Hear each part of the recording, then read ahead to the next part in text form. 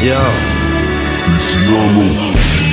Fresh off my final destination, avoiding the Pikachu's and Pokemon trainers, not settling for nothing less than first placement. I met a knight that couldn't fight when compared to greatness. Yeah, I'm the missing link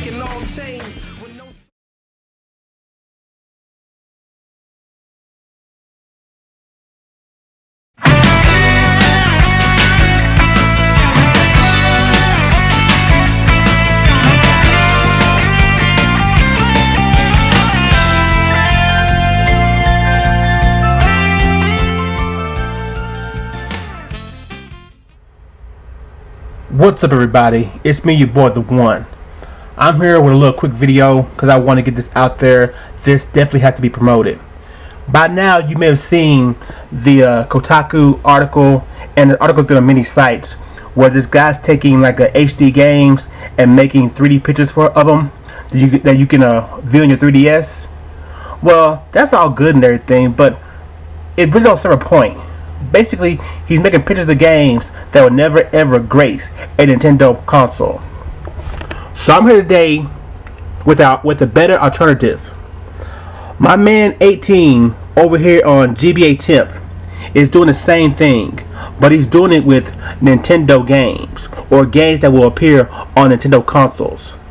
He already has a big, huge library of pictures going up, and and they're mostly GameCube to Wii games, different genres, different types, from Muramasa, F Zero G, uh, GX, Pokemon, Monster Hunter's Tri, Mario Kart Wii, Brawl, Paper Mario, Wind Waker, Sonic, uh, Legend of Zelda: Ocarina of Time, Sin Punishment, Resident Evil 4. The list goes on and on. Naruto Special, Metroid Other M.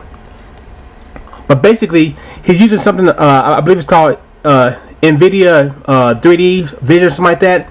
And he's using the Dolphin emulator, I believe, to make these photos. But if you want a better idea of how these games are going to look, how Mario Kart 3D is going to look, how if they make Monster Hunters for the 3DS, how it's going to look. If you want to have a better idea how these games are going to look, if you want to sit here and just just fiend over these few these games that haven't released yet, check a link in this uh video underneath. Go to this page, download the set of pictures. Uh, all you have to do is put them on your SD card that's already in your 3DS.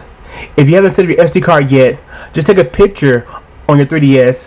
That'll set up the folders, and from there, just move those uh, files over to those to that folder, and then you better view all these games in 3D and get a better idea how they're gonna look once those games are made for the 3DS. I'm telling you, you've never ever in your life seen anything like Wind Waker 3D or Mario Kart 3D or my God, Monster Hunter Tri in 3D. It's amazing. Okay, it's amazing. So I'm officially now.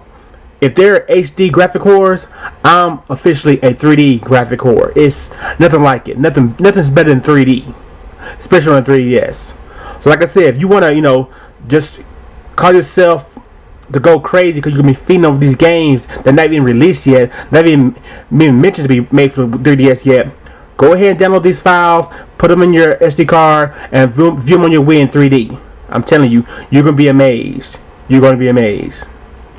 This is the one. Peace.